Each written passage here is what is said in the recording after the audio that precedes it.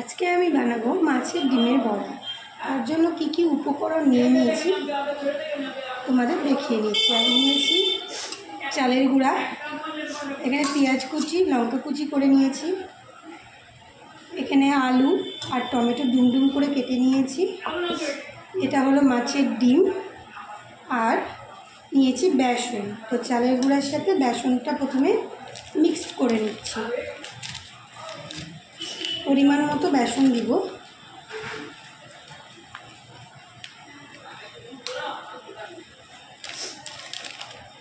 পরিমাণ মতো বেসন দিয়ে নিলাম। এবার এই চালের গুঁড়া আর বেসনের মধ্যে পেঁয়াজ কুচি আর লঙ্কা কুচি দিয়ে নিচ্ছি। দিয়ে নিয়ে এর মধ্যে স্বাদ মতো লবণ আর হলুদ দিয়ে নিব। তারপরে আমি এটাকে মাখিয়ে নেব।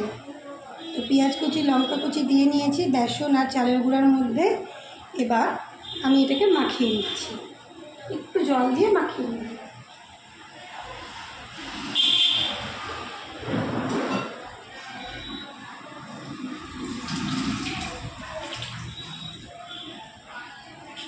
পরিমাণ মতো জল দিয়ে নিচ্ছি। তার আগে দিয়ে নিচ্ছি লবণ আর হলুদের গুঁড়ো।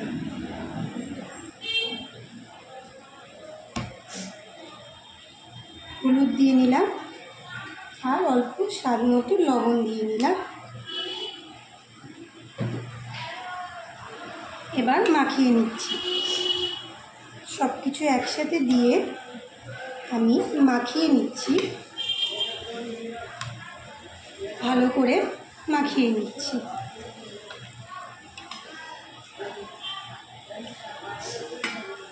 এত গরম পড়েছে মাথা সবসময় ঘেমে থাকছে, যার জন্য সর্দি লেগে যাচ্ছে।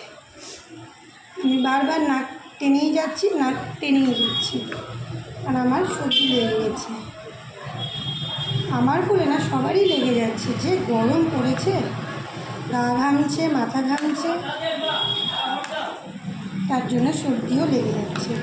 তো যাই হোক, আমি এখানে পেঁয়াজ কুচির সাথে চালের গুঁড়া আর বেসনকে করে আমি মাখিয়ে নিলাম। দেখো, মাখিয়ে নিলাম। এবার আমি মাছের যে ডিমটা নিয়েছি, এই ডিমটাকেও এর সাথে মাখিয়ে নেব। মাখিয়ে নিয়ে আমি ছোট্ট ছোট্ট করে বড়া বানাবো। তো ডিমটা দিয়ে নিয়েছি, এই দেখো, দেখাতে পাচ্ছি? দেখো, ডিমটাও দিয়ে নিয়েছি। এবার ডিমের সাথে এগুলোকে একসাথে সব মাখিয়ে নিলাম। চটকে মাখিয়ে নিলাম যাতে ডিমটা। এই পেঁয়াজ কুচির সাথে, বেসন, চালের গুঁড়োর সাথে মেখে যায়। তো আমি তো এটা মাখিয়ে নিলাম। এবার আমি কড়াইটা গরম করতে বসিয়ে দিয়ে তেল গরম করে ছোট ছোট করে বড়া করি তো চলো বড়া বানাতে শুরু করছি।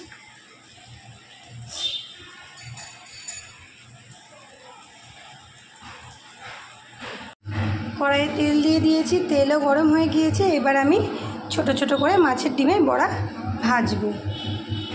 এই বড়া ছেড়ে দিচ্ছি, ছোট্ট ছোট্ট করে আমি বানাবো, খুব বেশি বড় করব না। কারণ আমি তো মাছের ডিমের তরকারি করব, সেজন্য ছোট ছোট করে করলে খেতে টেস্ট লাগবে। গ্যাসটা একটু কমিয়ে নিলাম।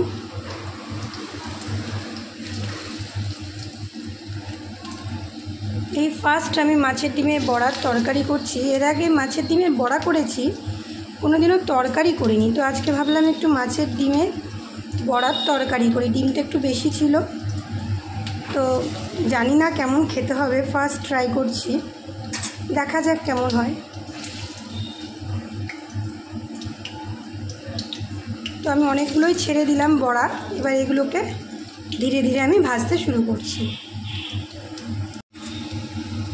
এবার একটু বড়াগুলোকে উল্টে পাল্টে নিচ্ছি, যাতে দুই দিকে লাল লাল করে ভাজা হয়। এ দেখো লাল লাল হয়ে এসেছে। এবার নামিয়ে নিব বাটির মধ্যে। এ দেখো বড়াগুলো সব ভাজা হয়ে গিয়েছে। এবার আমি এই বড়া ভাজার তেলের মধ্যে সাদা জিরা ফোড়ন দিয়ে নিচ্ছি।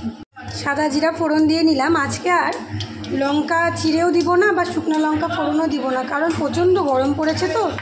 এত গরমে বেশি রিচ খাওয়া যাচ্ছে যার জন্য আমি হালকা করে মাছের ডিমের বড়াটা করব। এবার এখানে কেটে রেখেছি তোমার হলো ডুমডুম করে আলু আর টমেটো। এবার এই আলু আর টমেটোকে একসাথে ভেজে নিচ্ছি। এর মধ্যে দিয়ে দিব স্বাদ মতো লবণ আর হলুদ। দিয়ে নিলাম আর একটু সামান্য পরিমাণে চিনিও দিয়ে নিলাম। তাহলে খেতে টেস্ট হবে। টমেটো ভাজা হয়ে গিয়েছে। এবার এখানে দেখো, আদা জিরা লঙ্কা বেটে রেখেছি, ছেড়ে দিলাম আদা জিরা, লঙ্কা বাটা। ভাজা হয়ে গিয়েছে। এবার পরিমাণ মতো জল দিয়ে নিলাম। আর একটু জল দিব।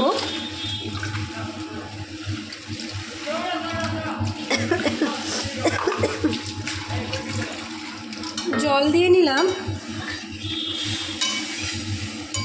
এরপরে এই জলের মধ্যে আলু আর টমেটোটা সিদ্ধ হয়ে গেলে যখন ঝোলটা অল্প হয়ে আসবে, তখন আমি এই বড়াগুলো যে ভেজে রেখেছি, এগুলো ছেড়ে দেব। তাহলে ঝোলটা একটু ফুটে অল্প হয়ে আসুক আর আলু, টমেটো সেদ্ধ হয়ে যাক। তারপর আবার দেখাচ্ছি। দিয়েছে, এবার বড়া সব আমি ছেড়ে দিচ্ছি। বড়াগুলোকে সব ছেড়ে দিয়ে নাড়াচাড়া করে নিব নাহলে যদি আমি নাড়াচাড়া করে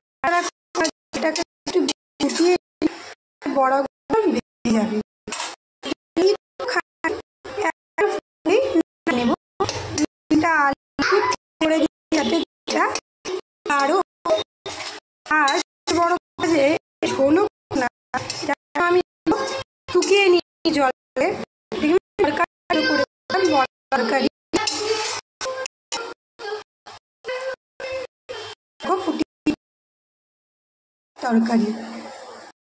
ভালো হয়ে হবে না, কারণ আমি টাইম বললাম বেলা যখন আমরা খাব তখনই পারব কেমন হচ্ছে। এখানে করে